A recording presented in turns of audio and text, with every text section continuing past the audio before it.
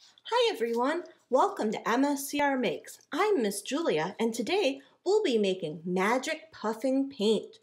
For this project you will need flour,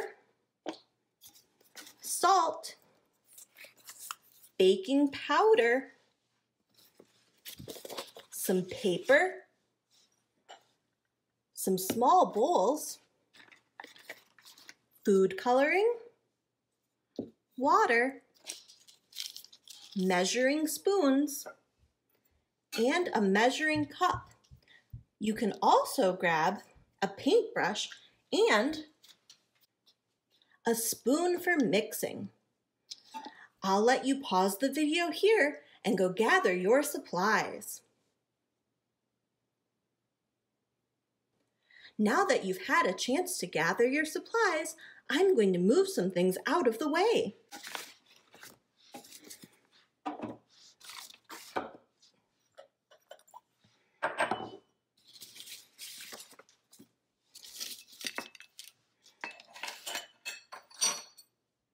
The first thing that I'm going to do is make my flour mixture.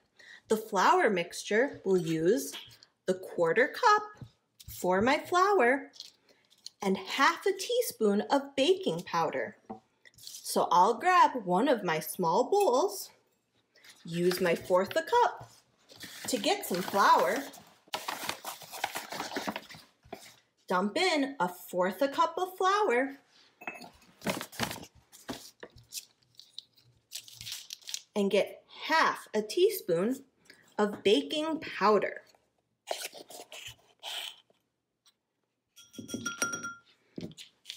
Next, I want to mix my flour mixture really well. You want to make sure that all of the flour and all of the baking powder are well mixed. The baking powder is what makes this paint magically puff up when you put it in the microwave. After I've mixed up my flour mixture really well, I'll set it aside. Next, I'll grab my smaller bowl so I can make my paint mixture. My paint mixture will use one tablespoon of my flour mixture, one teaspoon of salt, a few drops of food coloring, and two teaspoons of water. First, I'll grab my tablespoon and get one tablespoon of my flour mixture. I'll put it in my small bowl. Next, I'll grab my teaspoon and get one teaspoon of salt.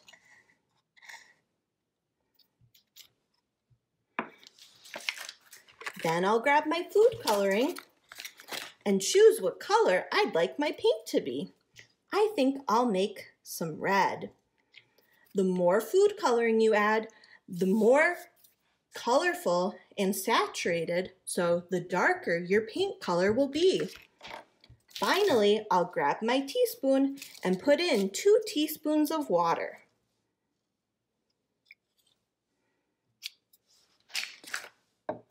Then I'll use my spoon to mix up my paint.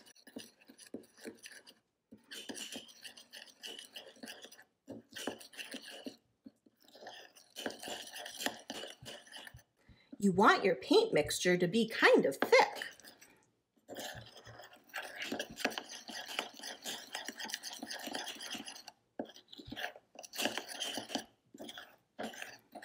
That looks about right.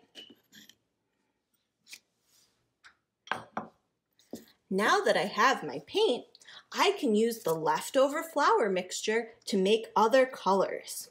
I think I'll just stick to my red for right now. I'll grab a sheet of paper and my paintbrush, and now I can make whatever shapes I want. You can use your imagination to make lots of different shapes. Right now, I'm making a J for Julia, like my name, but you could make any sort of animals or other fun shapes or something maybe you see outside. Once you're happy with how your painting looks. Then we're going to put it in the microwave.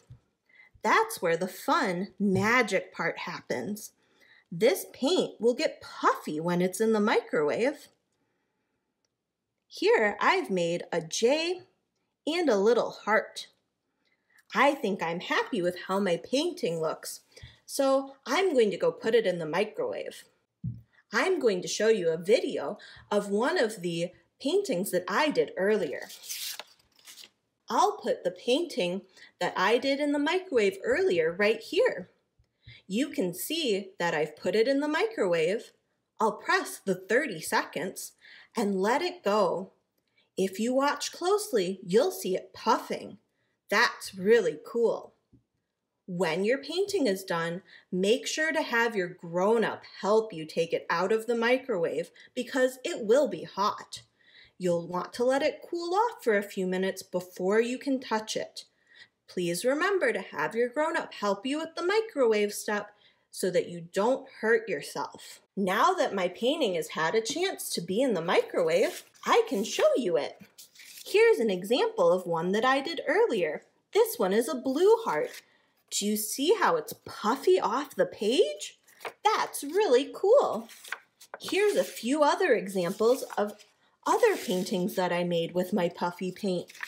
Look at how 3D and off the page they are. That's really fun. Well, I hope you enjoyed making your magic puffing paint and have fun making different creations. I'll see you in the next one. Bye!